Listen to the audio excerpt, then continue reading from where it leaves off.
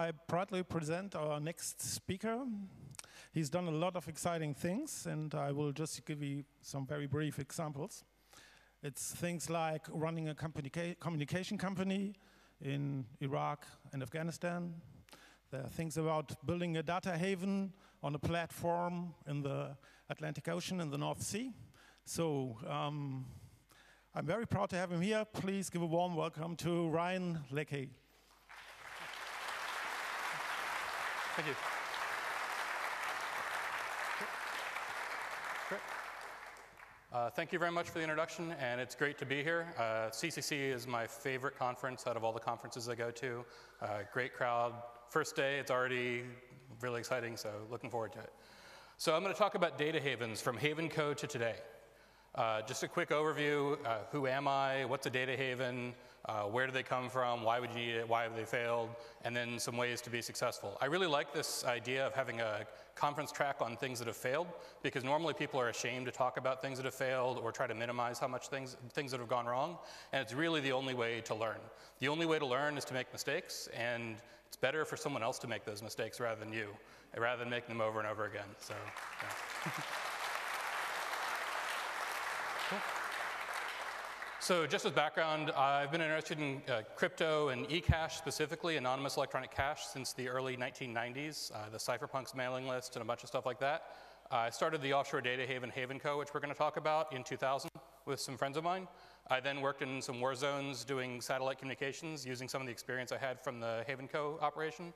Then I did a trusted computing startup working on trusted cloud computing, and now I work at Cloudflare, which bought my uh, trusted cloud computing company. So first thing is, what is a data haven? Uh, a lot of people use the term, they use it for different things. Uh, we're going to talk about the Wikipedia definition, which is now, I would say, the canonical way to find the definition of something, a refuge for uninterrupted or unregulated data. So that's really two parts, and there's a lot of factors that go into it. Um, uninterrupted, meaning against natural disaster, against normal service interruptions, things like that, but also against active attacks, censorship, uh, things like that. There's a concept, concept of regulatory arbitrage where you have one set of laws in one place, another set of laws in another place, and you're trying to pick and, and pick and choose like which pieces of law are the best for you and the best for your operation. And there's all sorts of traits that go into uh, a data haven. There's a physical, legal, operational, cryptographic. Uh, data haven could be both a physical data haven, or a uh, software data haven sort of cryptographic approach, or some combination, a hybrid approach to those things. So the origin, uh, as with a lot of things, before someone built one, people have talked about it and thought about what could happen. Uh, fiction, science fiction, is generally a great predictor of science fact, and science fiction has talked about this for a long time.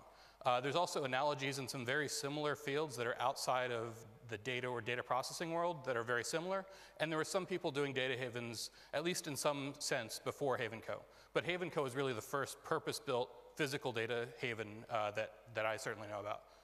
Uh, so in fiction, there's some, some great science fiction. Uh, as we move down this list, they get more and more precise. Early on, it was more about the concept of crypto, software, things. Then it was sort of passing references to it.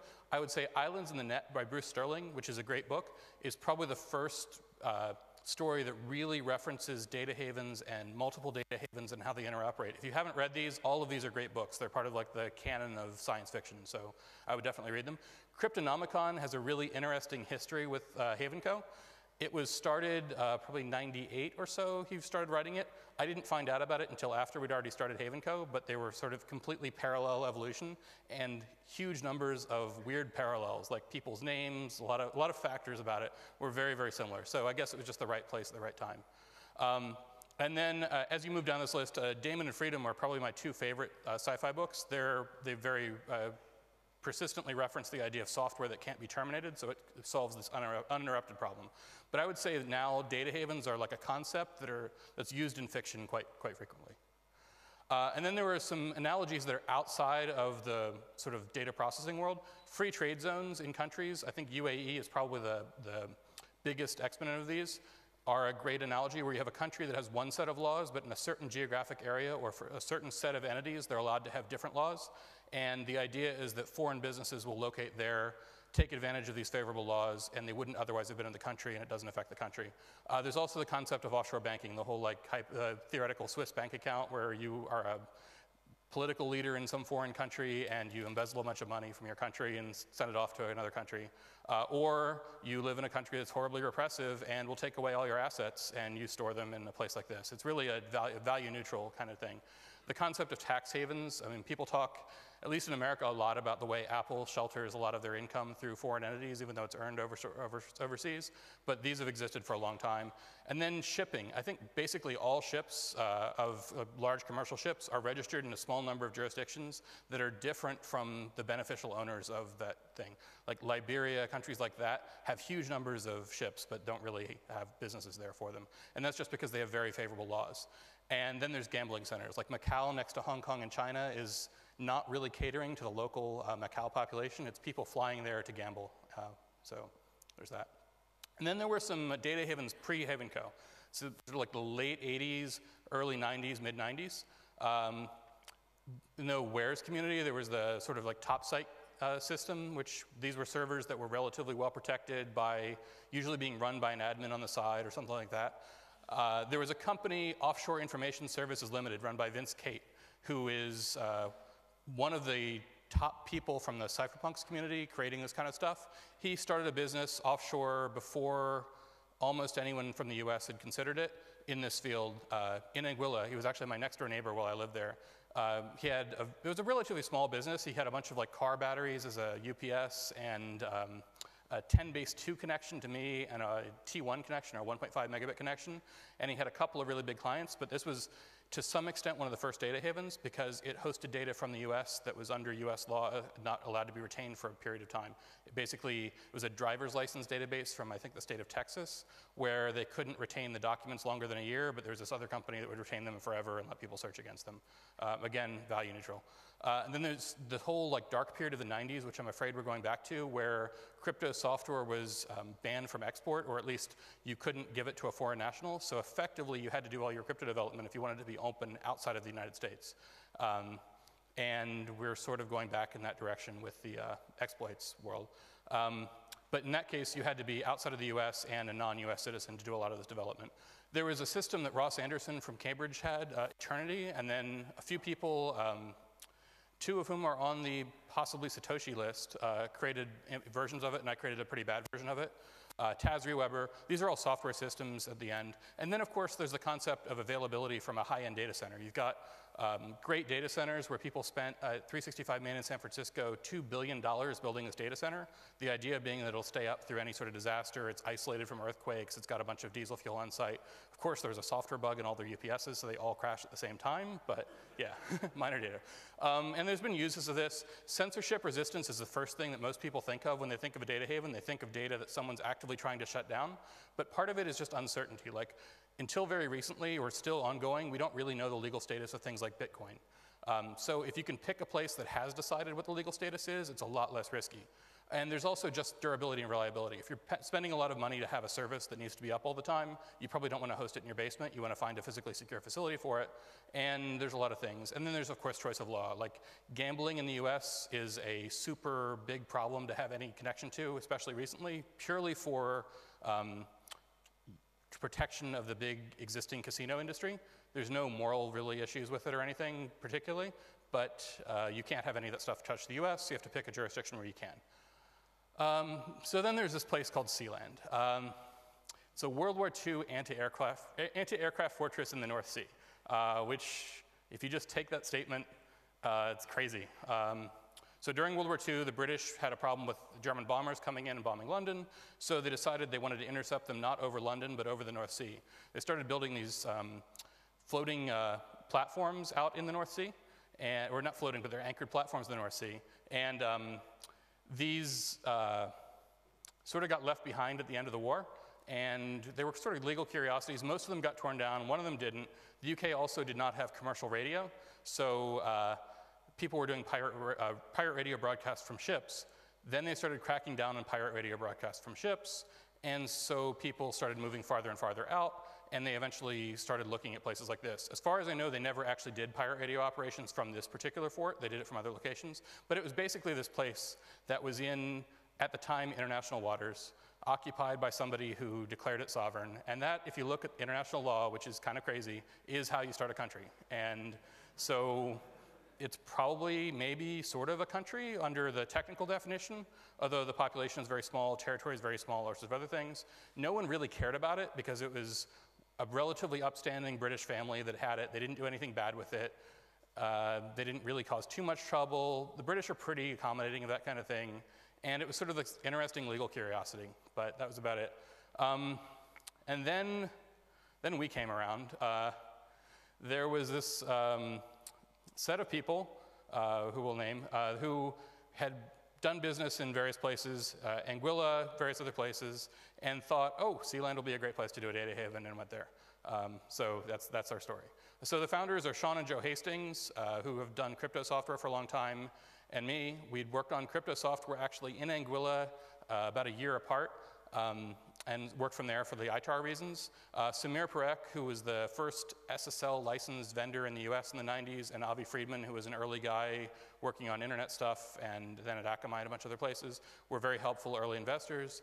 And we had experience firsthand with Anguilla. This little tiny country, it's uh, maybe 7,000 people in the Caribbean that didn't really have favorable laws in any way. It just didn't have a lot of laws. And we just moved there because it was sort of a nice place to live, sort of, if you like Caribbean islands, but there was no internet um, shady legal system, all sorts of stuff like that. So, um, purely by accident, basically, we were all there at the same time. Um, so, one of the things that happened was one, it was really boring. I don't really like little Caribbean islands. I'd be much happier in a place with lots of fast internet. Um, and it's one of those tourist places where you're only busy in the like one month out of the year. Um, the law was unsettled in a lot of other places, so we couldn't really go there. Um, we looked at uh, some other countries we might be able to go to. Oh, we, we, so we, oh, so we left we left Sealand or we left um, Anguilla.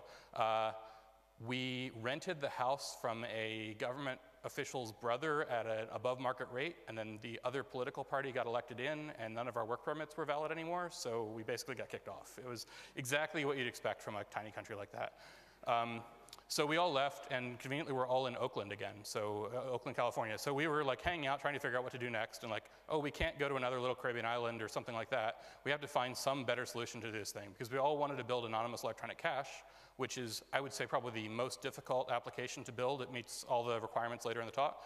Um, so we were looking at either existing countries we could use, free trade zones we could possibly negotiate with certain countries, micro, and then this concept of microstates. So like uh, places like Sealand, there's a place in Australia, the Hutt River Province, all sorts of like legal curiosities.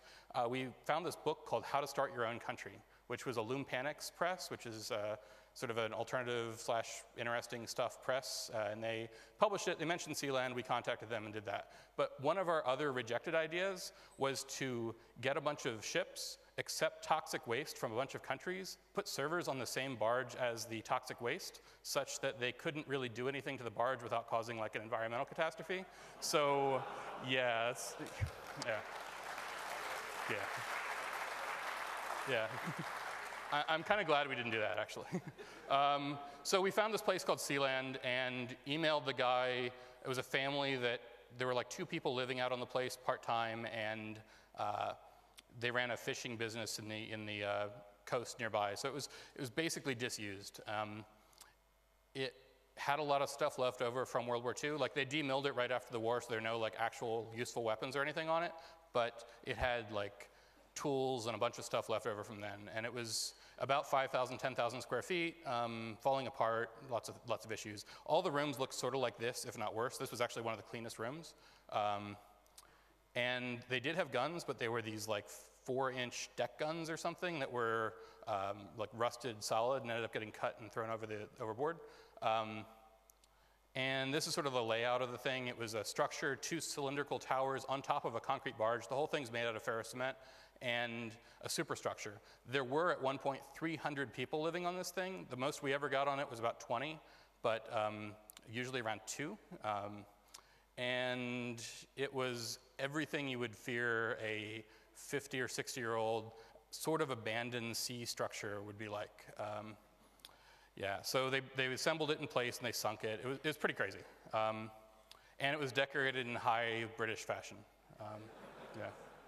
So yeah, and that's where it is. Uh, it's so they changed the law on what um, international waters were. It used to be three nautical miles, and you were international. They changed it to 12, but it was after the um, declaration of Sealand being an independent country. So it's probably okay, um, but it just adds lots of uncertainty. And if you see the town Felixstowe, we had a six-story building there that we beamed our communications using a point-to-point Wi-Fi shot to. So it was a pretty close to shore, not that far, but the North Sea is not a fun place to, to be on a boat.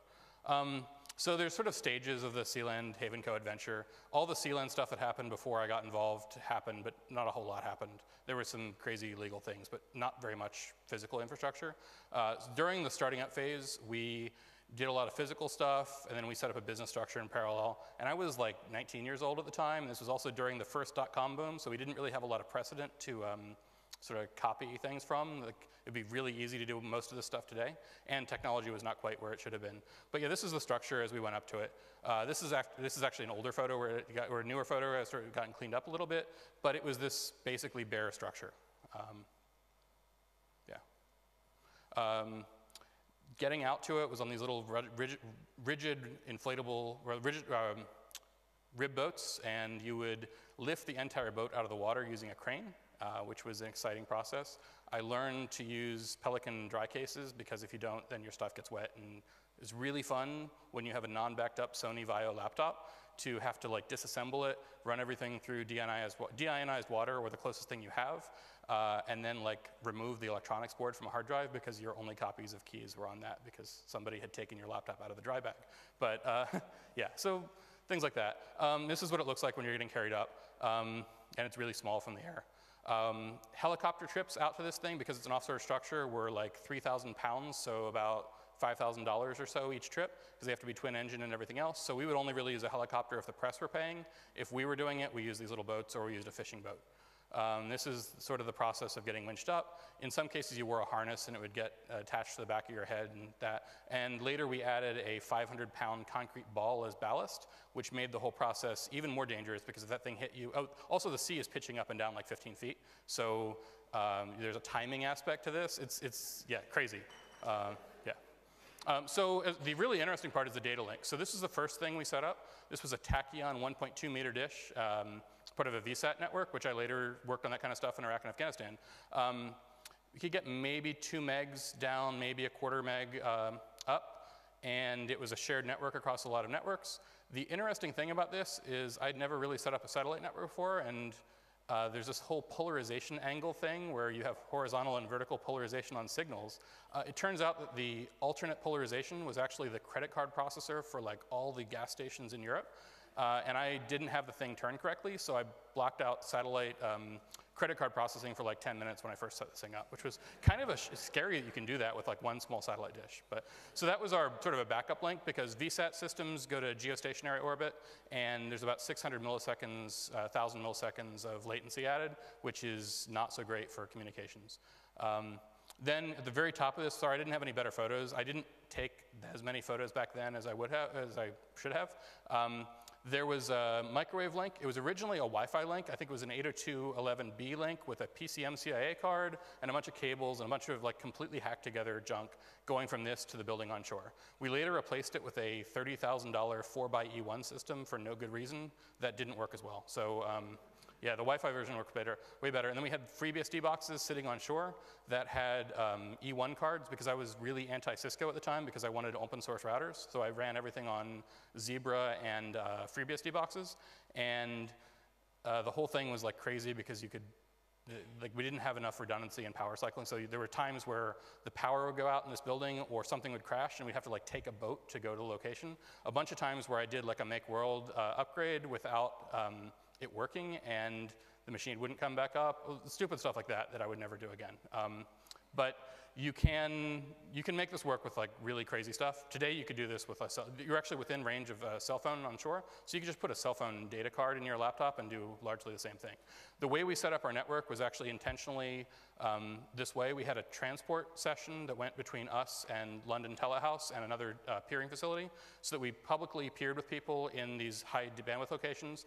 We did a lot of filtering and then brought it back to the to uh, Havenco via links that we controlled that we could obfuscate because those links were much harder to replace. Uh, something I talk about in a little bit. Um, Okay, so we did launch. Um, there was this Wired magazine has like a four month lead time on publications. So we were telling them what we were going to do in advance of actually doing it because it had to be ready. Uh, like the, the, we, we wanted it ready before the, the press hit. So there's a lot of speculative stuff. Um, probably the dumbest quote was the nitrogen filled data center quote, where conceivably you could do that, but we had no money to do that kind of thing. Um, so we had a secret plan to all of this, which was to get a lot of press, and using all that press in the peak of the market, be able to negotiate with another country to set up the second version of this, because our thinking was that doing the first one of these would be really hard to have any country say this would be a worthwhile thing to do. But getting another country to say, oh, we'll be the backup site for that would be really easy. So we'd get like a, a more real place, like say Hong Kong, to be our secondary data center. And then once you've got two, you can do like 10 of them really easily. So that was a reasonable plan, I think, um, but we didn't get to that point. We got about 300 major press articles. We had press flying out there all the time. It was the height of dot-com frenzy. But even at this point, it was team disorganization and stuff. Um, we had like a sales email box that we didn't answer. We just let it like accumulate because we were arguing over which ticketing system we should use. Uh, so we just didn't answer it, which was, yeah, yeah. uh, so yeah, and this is uh, one of our launch photos. Uh, and this is me, and this is Michael Bates, who was at the time the son of the Prince of Sealand, so who's like the second, I don't know what the royalty thing is, um, but yeah. This is yet more examples of lovely uh, British dec decor for this place. Um, press. Cool. So as you can expect, uh, given this a fail talk, there was a, uh, there's a crash. So there was the dot-com collapse, which I don't know how many people remember the details of it, but it was multiple things that happened in a row. Uh, it was sort of bad in 2000, and it got a lot bad in 2001, and it was bad for different sectors. There were all sorts of crazy things. The thing I really remember is Nortel stock. Um, Apparently, if you had bought beer in Canada and saved the cans for the collection, like the deposit, you would have more money than if you had bought Nortel stock because it went to like almost nothing. Um, so we ran out of money. We thought we could raise more money. We didn't have any more money. Uh, we were burning uh, two big 55 gallon drums of diesel fuel every day. We had a lot of staff, all sorts of crazy stuff like that. Um, so we, did, we didn't have the ability to raise money from third parties. So we sort of refinanced, and we originally had a contract where we could buy all of Sealand for about $5 million uh, in six to 12 months after launch, thinking, oh, it'll be really easy to raise whatever number of millions of dollars. And today, or in 1999, that would be true, not true in 2000, 2001. So, and instead, we ended up bringing the royal family of Sealand in as a partner. Um, they had run this place since like 1966. It was their main asset, their main pride and joy. They thought about it a lot. So they thought about this entirely differently than we did. Uh, we were willing to push the limits on one data center in order to um, expand the model, do things like that. They were much more conservative, um, which I can't really fault them for. Uh, and then we ran on a shoebox budget. Uh, my friend Avi, one of our investors, so he put in I think like a million dollars or so originally, and then every time I'd fly to Boston, he'd give me a bunch of cash, like a bunch of cash, like 10 grand or something, and I would use that to pay bills. And we didn't really keep track of it. It was like the, the ultimate thing you don't do in, with investments of like throwing good money after bad. Uh, he just kept it running, which was awesome of him, but uh, yeah, not a good financial decision. Um, then, so we we basically run out of money. We, at peak, we were spending like 30, 50K a week or so on renovations, and then we got down to the point where we had to pay for things from our server hosting, and we had maybe like a grand left over every month. We had this food, which was mostly left over from pre-Havenco days, and this was, yeah, yeah, it was, it was exciting. Um, of those things, there's some corned beef from Argentina that is actually the most wretched thing I have eaten, um, and we ate like most of the stuff. Um, eh, place. Um, so as far as servers go, um, these are a bunch of Celeron 533 boxes. Uh, we had this, I think, fairly justifiable fear that if people saw how little infrastructure we had, nobody would actually buy anything. Um, this was our showcase data room of what the rest of the rooms would look like. Um, this was, in fact, the only one. So, uh, yeah. Uh, it got a little bit more populated, but this is about like two thirds of the peak. Um, very small number of servers, some UPSs. We got a bigger UPS later, but all basically FreeBSD and Linux stuff. Um, pretty reasonable, but yeah, very, very small scale. Uh, and we never had more than 8 megs of bandwidth going to the place. Uh, we had aggressive caching, and then much more aggressive caching after I left, which is an interesting story. Uh, this is about peak capacity. Um, so yeah. Sitting in a NOC. The, the rooms are 20 or um, They're like six meter cylinders, so you've got a circular set of desks around them in this room, and that was where I spent most of my time, mostly on IRC, which is the main thing you do when you're on a little island like that. Um, yeah, so speaking of aggressive caching, so we had this whole model where we would host things, uh, where rather we would host things on Sealand, and then we would have peering sessions and um, transit purchased in places like London Telehouse and in a place in New York, and then we bring the transport back. Those edge boxes are really tempting to use for caching. Um, after I left, which wasn't on the most friendly of circumstances at the end of 2002, I think they decided it would be a lot cheaper to just not have anything on Sealand anymore and put everything in those locations and not tell anyone. Uh, it was really obvious for two reasons. One, the ping times were zero milliseconds from the edge to this. Normally it's about two milliseconds by speed of light. And then there was a huge fire because the original structure was all like ferrocement and everything else. The new generator room, which they stored a bunch of oily rags in, um, was made of tar paper. And the predictable thing happened after like five years. I don't know why it took five years, but it eventually completely caught on fire. It was a huge fire, and nothing happened on the servers. So, uh, yeah, um, there's that. So, given many, I would say the failure here was overdetermined. So we have lots of reasons why it failed, and we need to sort of like piece apart why those things are. Some of them are totally idiosyncratic to a tiny platform in the North Sea. Those are less interesting unless you, for some reason, want to build something on a tiny platform in the North Sea. There's other things that are much more general as data haven issues. Um, the core reasons were economics. The product itself wasn't all that great. And to be honest, we were not the greatest team. Um, none of us had any experience running large businesses or even small businesses or really anything. Um, and then we did have the market. Like, it's really lame to blame the market for it, but I think the 2000 to 2001 collapse in bandwidth prices was a fundamental um, driver. So, what happened is we had an inherently high cost, which was totally fine in 2000. Um, there were two reasons for high cost. It was high cost because it was on this little tiny platform. It was also high cost because we didn't have any scale. When you're buying 8 megabits of internet and transporting it over E1s, you pay a pretty high cost per megabit. If you're buying 155, which is what we'd originally ordered, um, the cost per megabit is a lot lower. And then we had the issue that in 1999, 2000, the price for, I guess, Akamai um, service was like two to three thousand dollars a megabit per second, effectively. Transit was one to two k or something a megabit. Um, then the market collapsed, and people would start selling below their own cost because they had to. Uh, sometimes they'd sell below their marginal cost, which is crazy, but usually bandwidth doesn't have a marginal cost. Um, so basically, like the market price went to like $10 and our cost was 500 and we built everything on like 3,000. So that was a serious problem. And then there was another more ser additionally serious problem is we were missing some key components to make this a great product. And then we didn't have any money to do anything differently. Um, because we only had only, only 8 megs, we had to really ration bandwidth. There's a lot of cool stuff you can do that you'd want to have more bandwidth for. Um, this was also pre-virtualization, so you had to have physical servers, and one server per customer was like a crazy thing. Um, the biggest problem, I would say, is we had no way for our customers to handle payments. If you were a purely cipher space business, you still had to go incorporate somewhere to get a bank account to accept credit card processing. There was no Bitcoin back then. And I proposed at the beginning of this thing that we fund building anonymous electronic cash as the first enabler for this thing, because if you have anonymous electronic cash and a secure place to put your server, you don't actually need to incorporate anywhere. You can just have a key as your, your thing. Um, but we didn't do that. Um, and then we never really found a single really solid application for this thing. So all the things from doing startups that I know you shouldn't do, we did. Um, and then the team and structure issue. Uh, fundamentally, the issue was that um, the Sealand people were more traditional, much, much more legally averse to risk, uncertainty, things like that.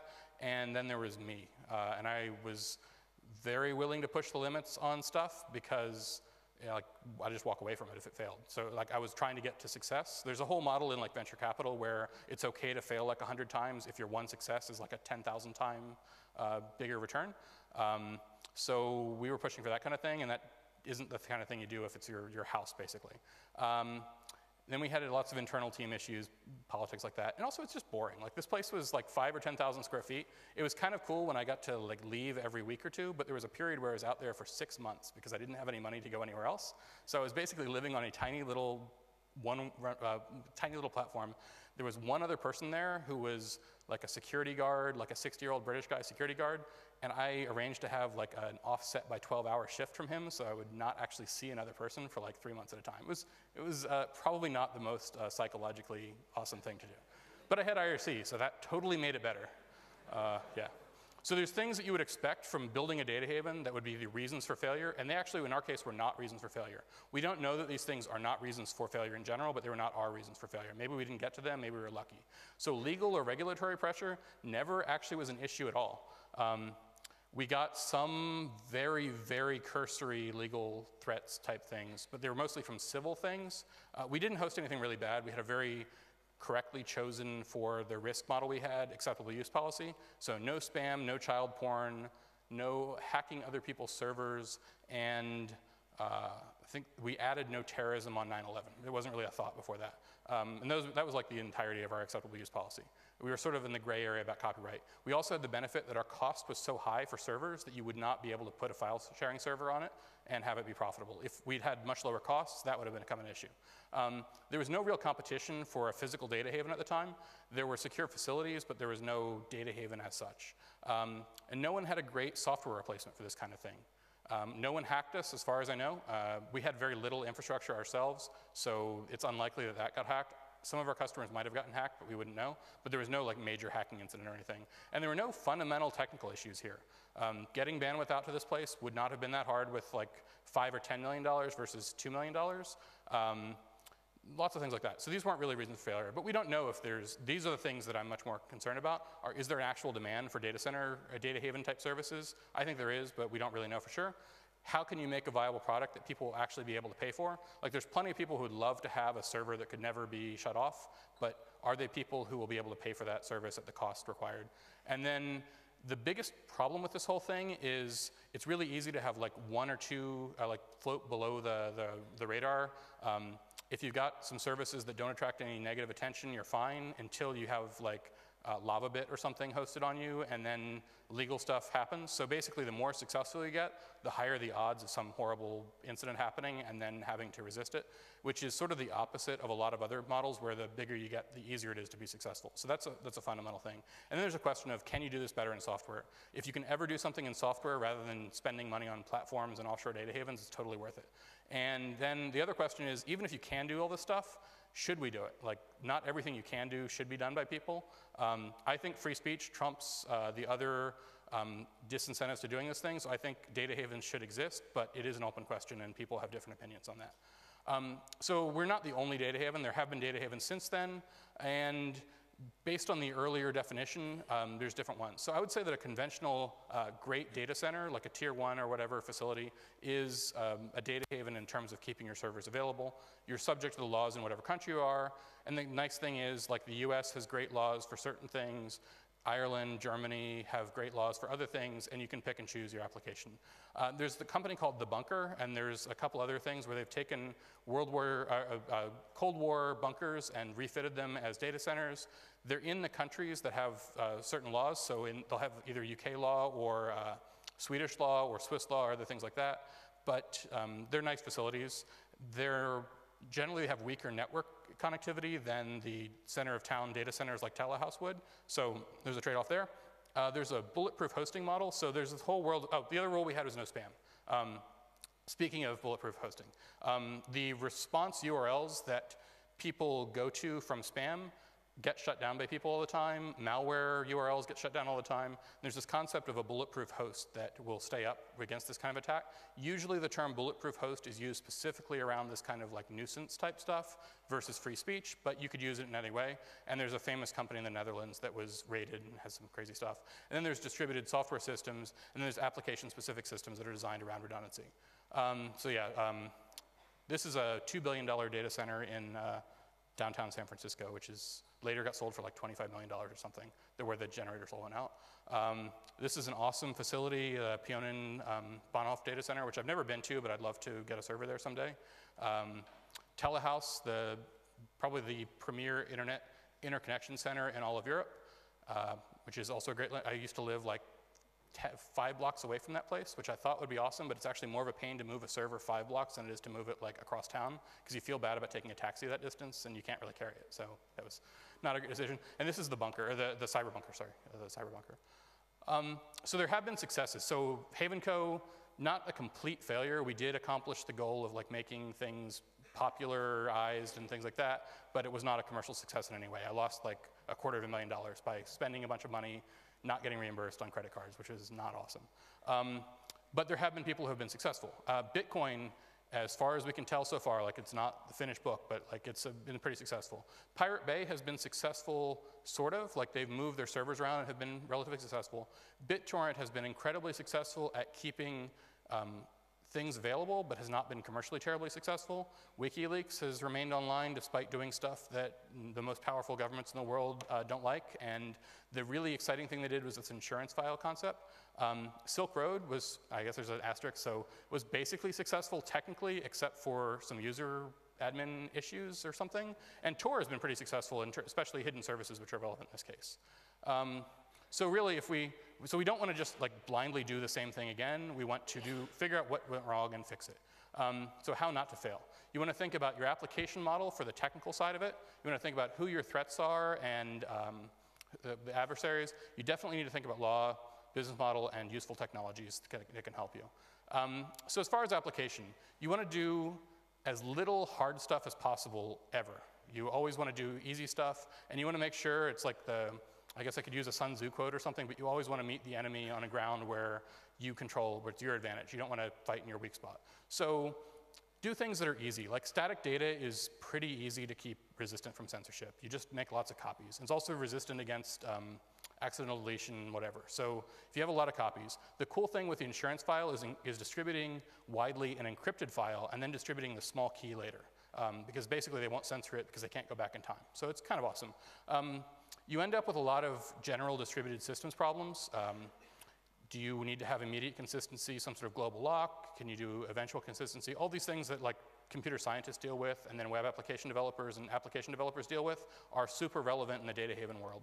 Um, and then there's uh, the hardest thing possible is to build a um, legacy, so you can't build a custom client. You have to use like a regular web browser, globally synchronized transaction system. That is the hardest thing to build. So if you can build a data haven that will work with that model, you have won, uh, maybe.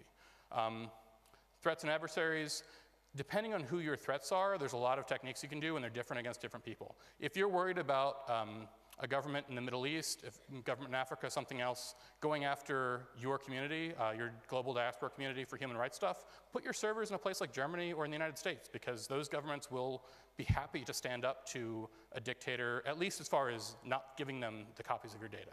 Um, you can split apps across jurisdiction. I've seen, so I did the work in Iraq and Afghanistan just doing like satellite internet for people, but I got to meet some of the law enforcement people and see the trouble they go through when they're trying to deal with servers that are in multiple jurisdictions. In a lot of cases, they don't even bother if it's in a particularly difficult jurisdiction, like say Eastern Europe. Um, but if you can make that so it's like the Russian dolls problem of multiple servers, they get bored pretty fast. Um, and you can use disposable front ends, which has been sort of the WikiLeaks model, where the pieces that you have the most of and that you can easily replace, um, you make those pop up. Those are the only things that are exposed. And then you have servers in the back end, your big data repository processing that's much harder to replace, you keep shielded. And then you minimize the bulletproof computing base. So it's sort of the inverse of a trusted computing base or sort of related to trusted computing base, where the parts that actually need to be re resilient against all these attacks should be as small as possible for your application. Um, Laws and politics, these always change. I know much more about technology than I do about laws, but the, the issue we had in the 90s was that law wasn't really settled. We had both, I mean, there's a concept, at least in, in um, common law countries, of like black letter law and then uh, court law or case law. Uh, there were lots of cases where there was neither black letter law nor case law. Now, at least there's case law, and a lot of cases there's black letter law about it. Um, but there wasn't a lot of that stuff back in the, the day. Um, then, while Sealand was still going on during terrorism, I woke. I, I was uh, like asleep. I'd gotten in like a weird sleep schedule, so I woke up at local 3 p.m. or so, which was like an hour after the 9/11 uh, World Trade Center attacks. Woke up, saw the TV of like these things crashing in, and thought, uh, one, that sucks, and two, whoa, they're going to completely ruin like any possibility of doing offshore data haven stuff. So I set up an anonymous remailer later that day and a bunch of other stuff that like pushed the limits a little bit more, but it was pretty clear that terrorism was going to get used to beat down any form of anonymity, even for things that are totally unrelated to uh, terrorism. In the 90s, we had the four horsemen of uh, child porn, money laundering, terrorism, and tax evasion. And it's a lot easier to scare people with terrorism than it is to scare people with like, ooh, evil tax evaders or something. So, um, so we were afraid of that. The other thing is you want to have a preemptive positive legal campaign. If you are behind the curve and the first thing anyone hears about you is something negative, like you're used for child porn, you have lost. No matter if the law's on your side, they'll just change the law or they'll change the interpretation or your funding will get pulled or something like that. You want to make sure that you've got good stories out there of like how you're helping um, people escape horrible situations, um, things like that first. Uh, and then you pick some cases that have really good, good optics. So you help open source projects, you help uh, like the overseas diaspora of a country where the country is monitoring those people's communications, thing like that. The other key thing, which I think is, these are, these are all fairly obvious, the one that I thought was the most um, useful is pick one um, known main adversary, one threat, and make sure you can defeat that. So in our case, we could pick something like gambling, and we could be the, the awesome place where you can host your gambling servers. No one really cared about gambling except for the US government, and they were 5,000 miles away from us, so we didn't really have to worry about them very much. We would not have picked something that a lot of countries hated or that the British specifically hated because they're much closer to us. So pick one thing to do and just do that thing rather than like taking on every, every other country in the world. Um, then there's an open question about business model. You really want to have a working business model before you scale up your business. So keep your costs low in building something like this so you can pick a model. Uh, a lot of the problems are the interesting customers are usually not really able to pay very much. The boring customers are slow to move. So you can get interesting customers with not a lot of money early on, but you can't really serve them unless you either have a lot of money or have very low costs. And there's that. The non intuitive thing is to build a system that works really, really, really well for one specific application. So you could build like anonymous remailers are one of the most secure, most um, effective against very high level threats systems out there because they only dealt with email. Whereas Tor has a much harder problem because it deals with arbitrary protocols, or in other in arbitrary data haven has more things. So if you can build a single application that you know a lot about, it's pretty easy, or relatively, it, it's much easier, not pretty easy. Um, and then solve something that's on the efficient frontier of risk and value. Don't put like hundreds of millions of dollars into solving something where you're only like a tiny bit better than somebody else. Uh, either don't spend a lot of money to be tiny bit, bit better, or um, spend a lot of money but be amazingly awesome at it. And then cross subsidize. If you build a system for your own application, you might make really high margins on, say, offering email addresses and, and stuff where the hosting can be higher than it is at other places because you have less cost for other things. And then hybrid solutions where you have like a P2P model, a software system, and a data haven that are working together, things like that. There's, or an open source thing, or you have something like Catfax where it's not an objectionable application. use that to demonstrate your technology and then build something else later. Um, so there's a lot of useful technologies that didn't really exist in the late 90s when we were doing this stuff that do exist now. Um, Tor, one of the more useful tools here, we have a lot of people talk about Tor, there's no point in me talking about Tor. Um, Heavyweight clients. There was a period in the early 2000s where it was basically just web clients. No one wanted to run um, local software on their machine, and it was sort of before JavaScript was at the level where you could run a real client there.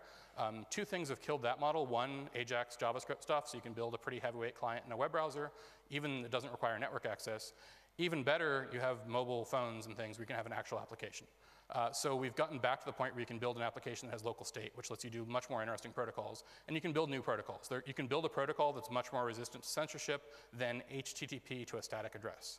Um, and I'm a big fan of message-based systems rather than connection-oriented systems. If your fundamental task is message-based, you can pass these messages around, like in the UUCP model or the anonymous remailer model, rather than opening a pipe. It's much more anonymous, much more secure, much more reliable uh, than that, and use latency in that kind of situation to your advantage. Uh, th however, there's a bunch of missing technologies. We still have not, I would say, solved the anonymous electronic cash problem. And Bitcoin is a decent system, but is not anonymous. Uh, certainly not anonymous against determined effort to find arbitrary transactions, not anonymous by default. So Zerocoin and some systems like that might be sufficient. I am still a true believer in Chaumian electronic digital blinded cash. Um, it has a long and kind of sad history, but I think someone will eventually do this and it'll be successful. Um, I think we also need to reboot the anonymous remailer network. I mean, one of the sad things was Len Sassaman was the main uh, remailer guy, and he's no longer with us, so we don't have a remailer network that is as good as it was in like 2003. So we need to at least get back to that level and maybe build something better. And then cloud computing. You, if you're building all this stuff for Data Haven and then you've got uh, AWS as your backend for your application, it's really easy to send a subpoena to there or do whatever else. Uh, having a trustworthy cloud where the operator can't modify your computing would be great. And it's not really cost effective to have de dedicated physical servers for each machine, especially in an offshore data haven. So there's that. And then secure client devices. As we've seen with the Silk Road example, um, no matter how great your server security is, uh, if your client device is captured, unencrypted, or whatever else, you've got serious problems. Uh, so yeah, that's basically um, these, I have a bunch of URLs. This will be up on the web somewhere. Um, a lot of stuff. There's a bunch of articles, um, some interesting legal analysis of this that has been, has been done by people, and that. So yeah, data havens have existed in concept and practice for, I would, I think there's probably examples from the 50s and 60s, but certainly from the 70s and 80s, and genuinely mixed results. So there's lots of work to do in the future. Uh, I'd be very interested in any questions or comments or anyone has. Uh, we have about 15 minutes left. Uh, please use that.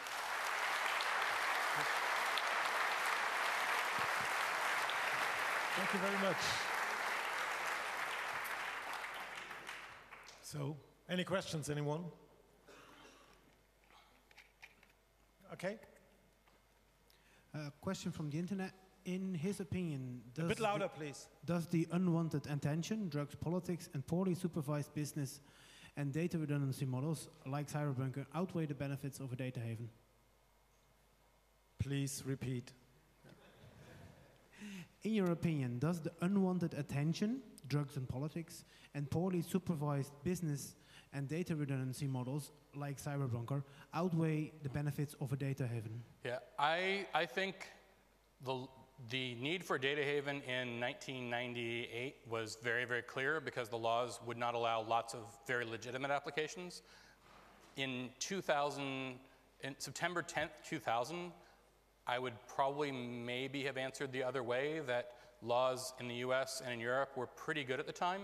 Um, however, Patriot Act, uh, RIP in the UK, lots of things have been pushing in the other direction. So while there are severe negatives to spam, abusive use, things like that, uh, I think actual legitimate free speech use is, a, is sufficiently at risk that the value of data havens is, if not absolute today, a yes, uh, there's a very easy projection where it is. So I think we need the technology, even if we use it for the equivalent of better latency reduction, having servers close to people, uh, we should build that and then, yeah. Um, please, if you leave the room now, please leave silent. Thank you very much. And take your garbage with you. Thanks. Please. On a scale from 1 to 10, how much bullshit would you say is in the ecosystem around the you know Bitcoin and coin uh, and, block, and blockchain uh, uh, technology right now, and also in the startup world in general? Okay. Yes, uh, that is a good question. Um, 10 being the most. Okay, so I think there is clearly value in both a lot of the startups and in Bitcoin. Uh, Bitcoin is an awesome solution to uh, distributed systems uh, problem that has been open for a long time. Bitcoin itself as, as, a currency does not really personally excite me. I own 2.3 Bitcoin after winning a bet about the North Korea hackers in Sony thing.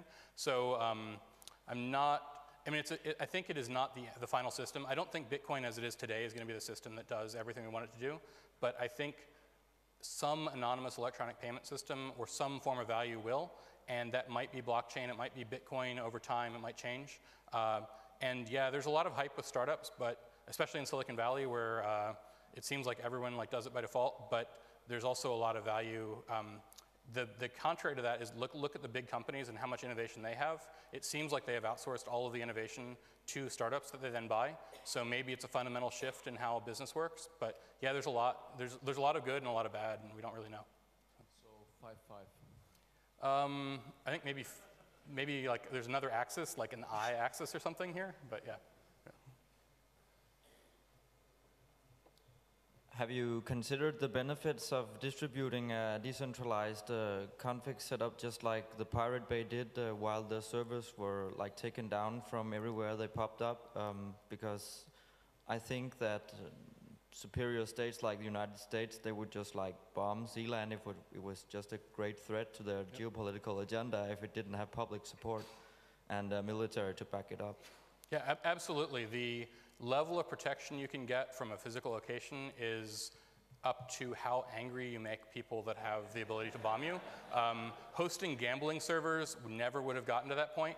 Our most object, the weirdest thing that I learned was that there's a lot of stuff that's legal in like set of country A, and then a lot of stuff that's legal in set of country B. But then there's like the combination of that. I guess I can talk about them now, but like we had a customer that did this weird bidding or betting on porn images. So porn in countries that are okay with gambling is usually bad. So there were very few countries that had both porn and gambling being okay. You'd bet on like which of six softcore images would be popular, the most popular among the people that week, and you would uh, then win if it was the most popular thing, which is actually pretty awesome. I think it would be a fun thing to recreate.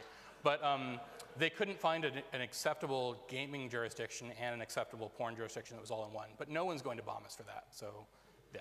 Um, yeah, I agree that the people, like WikiLeaks, I, I am certain that if the US government could quietly kill the people involved in WikiLeaks and not get caught for it or not be attributable, it would have happened. So the only thing that kept the people alive and successful was being distributed in that sort of system. That is the most resistant system against a large threat like that, or finding a counterweight nation state or something like going to Russia is the solution. They're not going to like go to war with Russia over Snowden but they would have potentially done more pressure against smaller countries. So there's a crazy geopolitical thing involved. But yeah, software, crypto, the nice thing, the thing that got me interested in crypto when I was like 11 or 12 years old was knowing that I was like in a house, in a suburban house, and I had like very little resources, I could do something that no one could undo, like cryptographically.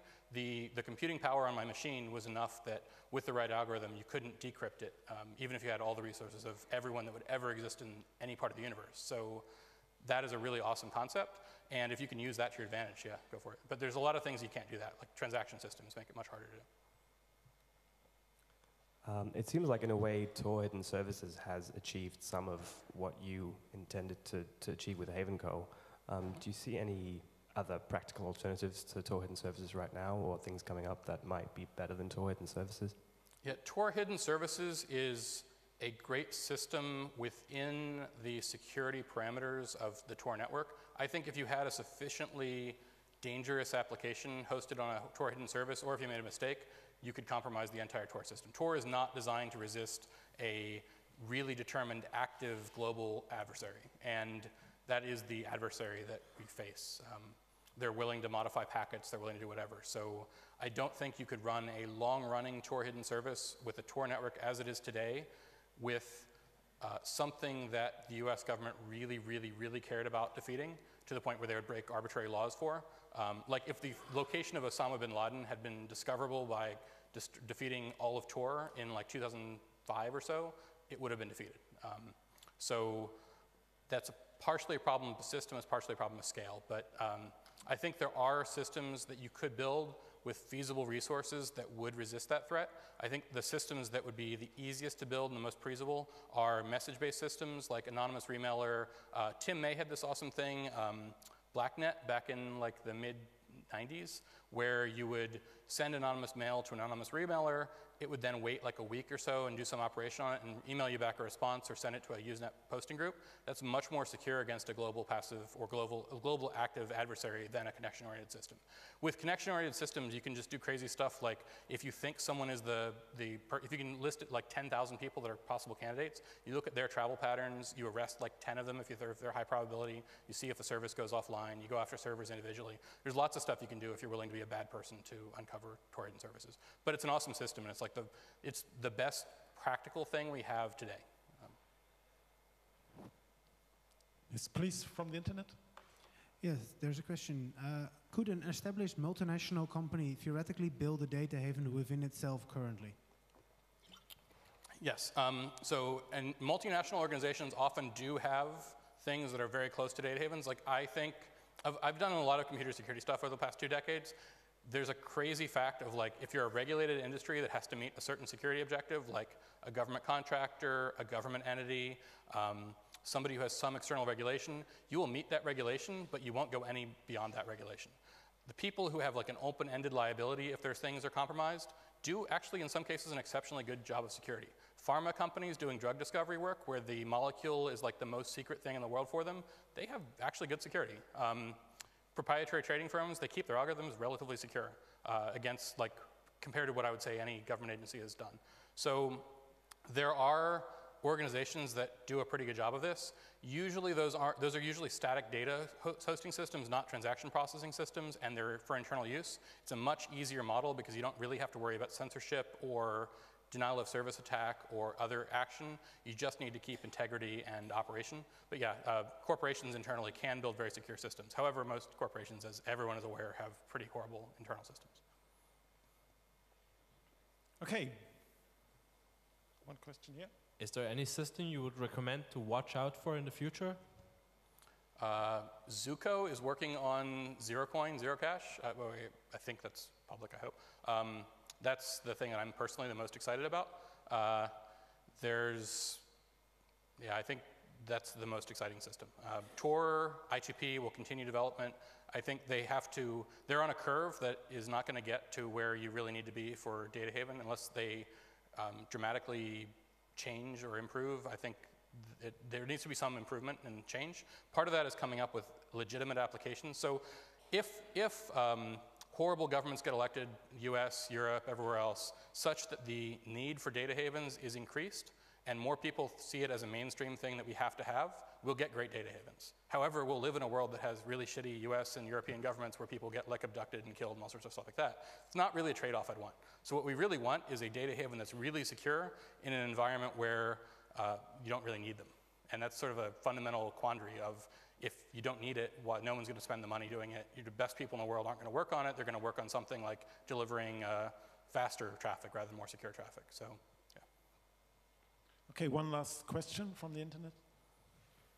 Uh, is there a data haven do-it-yourself how-to online? If not, would you like to put on online? And is there a data haven uh, software as a service?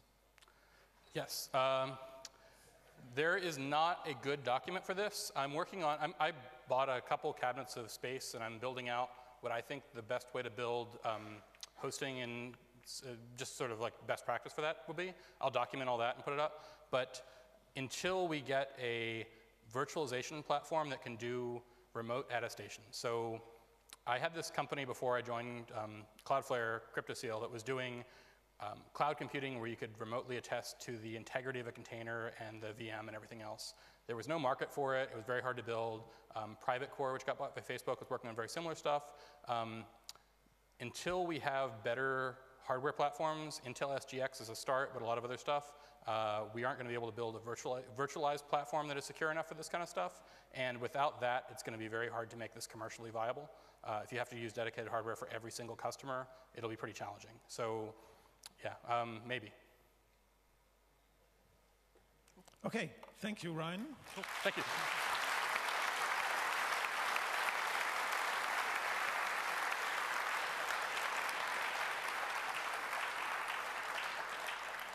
Okay, for all the others, please, please take your garbage with you, and we will continue in 15 minutes. Memory corruption. Why can't we have nice things? Thank you.